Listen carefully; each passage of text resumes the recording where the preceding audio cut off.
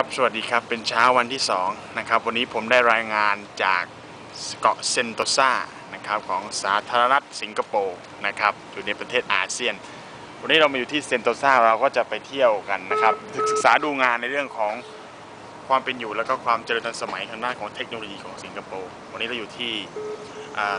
เซนโตซาอยู่ในส่วนของ Universal Studio นะครับและด้านหลังของเราตรงนี้ก็คือ Maritime Experimental นะครับ เป็นมิวเซียมของทางด้านเรือ เพราะว่าสิงคโปร์เขามีความเชี่ยวชาญในเรื่องการเดินเรือซึ่งเราเห็นว่า